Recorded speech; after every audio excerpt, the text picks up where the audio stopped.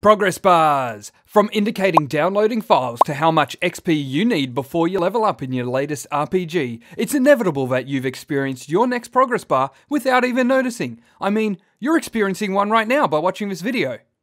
Ha! Made you look. So with how often they're in our lives, let's progress forward and learn how to make one in Adobe After Effects.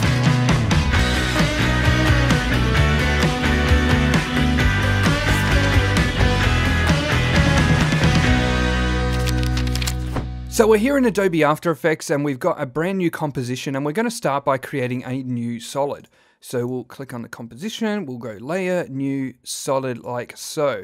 And we'll call this our progress bar. It's the size of a comp, we've just picked a random color and we'll go OK. Next what we want to do is pre-compose this. So we're going to right click the layer in our timeline and hit pre-compose. And we're going to call this progress bar graphic. Hit OK, and then we'll double click on that uh, layer in order to go into that pre-composition. Now selecting the solid that we created a moment before, we'll go to Effect, Noise and Grain, and Fractal Noise. For the fractal type, we'll go to Dynamic Progressive, and we'll bump the contrast up to say 150. If we change the blending mode to overlay, we get a bit more of a cool sort of orange, yellow sort of look going on. And what we want to do is we want to add a bit of movement to this. So for the evolution, you see here on the stopwatch, we're going to hold Alt and click. And then down below in our expression window, we're going to type time times by 100. We'll hit enter on that. If we drag the playhead along, you can see we've got this awesome sort of bubbling look going on, but we also want to add some lateral movement to give it a feel that it's actually progressing. So we'll go back to our effects controls, go to offset turbulence, and again, we're going to hold Alt and click on the stopwatch.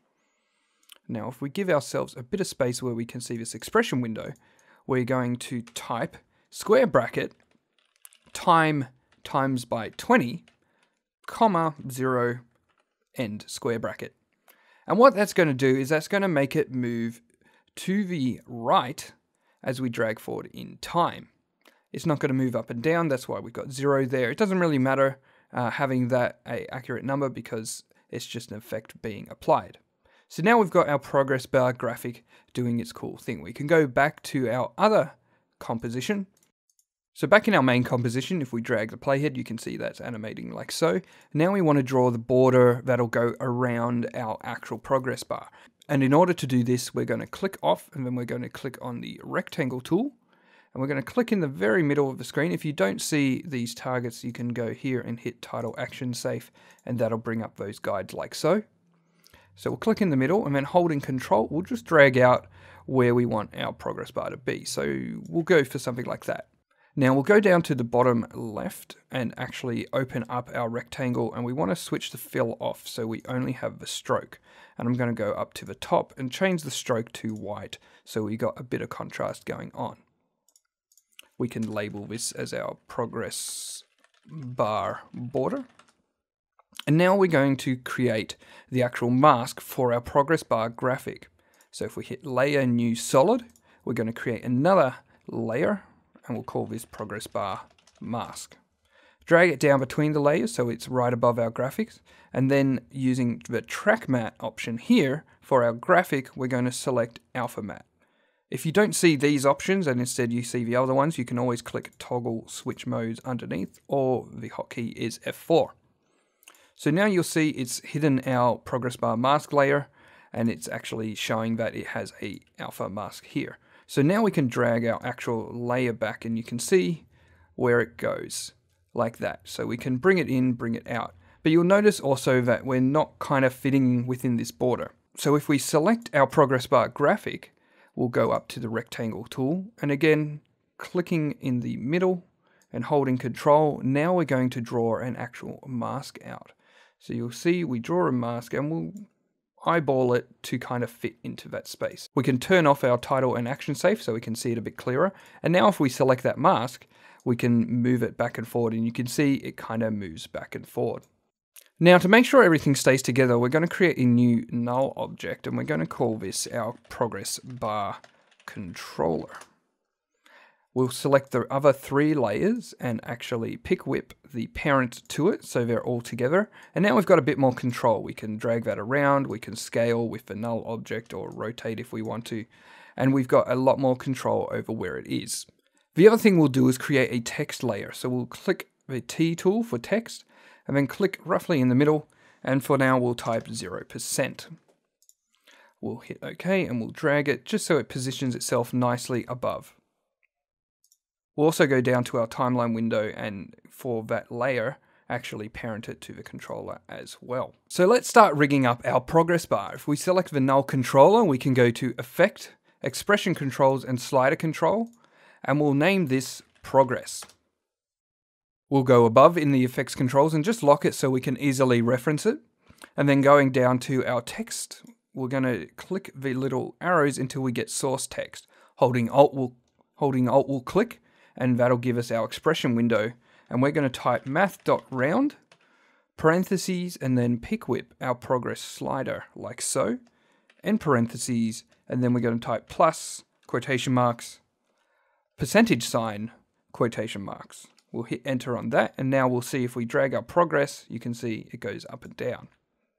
The next thing we'll do is we'll go down to our progress bar mask, we'll hit P, and we'll right click and hit separate dimensions, and we're going to actually set up an expression on our x position. We need to know where the start and the end is. So we'll look for the end and you'll see it's at 1 minus 198. And then we'll go all the way back to the start and you'll see it's at minus 1772. If we hold Alt and click on the X position, we can now type our expression. We're going to start with a linear expression for this. If you want to know more about the linear expression, there's a new video out that covers everything to do with the linear expression. The link is in the description below. But for now, we'll type linear, parentheses, going to pick whip our progress slider, and then comma 0 to comma 100, because we're going from 0% to 100%. And then we're starting at minus 1722 and we're going up to minus 198. We'll hit enter and then you can see if we drag our progress slider, it goes up and down like so. You'll notice though that when we've got our progress bar behind our text, it's a bit hard to read. So what we can do is have a different color text appear when it's actually being overlaid like so. So we'll put our progress slider back to zero. We'll select our text layer and press Ctrl D to duplicate. And this text layer, we're going to change the color of to black. You see we're getting this weird coloring and obviously it doesn't work on black so we need to use the progress bar mask again. So we'll select our progress bar mask, hit Control D to duplicate. We're going to slide it in between the layers and then for this layer which is white, we're going to actually select alpha inverted matte. Select that and then we'll select the progress bar mask again and hit Control D, drag it above our, our other text layer, and then we'll hit track matte and then alpha matte like so. Now if we drag our progress slider back and forward, you can see it masks out one text layer and masks in the other text layer. So we get that visual of that progress bar and it's nicely contrast against both our yellow and both our white. Now we can go and we can keyframe this progress slider. So if we start at zero seconds, we keyframe that at zero.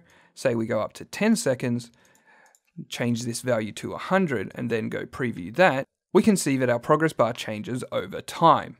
Now we can keyframe this in a number of ways or use another expression to drive that progress slider. We've got so many options at our disposal, but for now this is a pretty easy way to create a progress slider.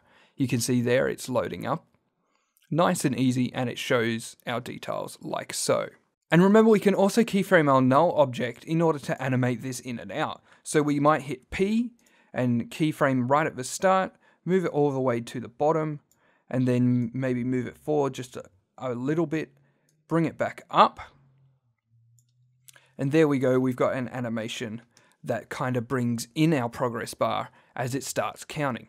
So we're not interrupting the way that our progress bar actually loads by keyframing anything on our null object. So that's how you create a basic progress bar in After Effects. Remember there's so many different variations that you could do, but they all use the same general technique. If you like this video, don't forget to leave a like or to subscribe and let us know how you use a progress bar in your next creations. Until next time, my name is Bench. Thanks for watching.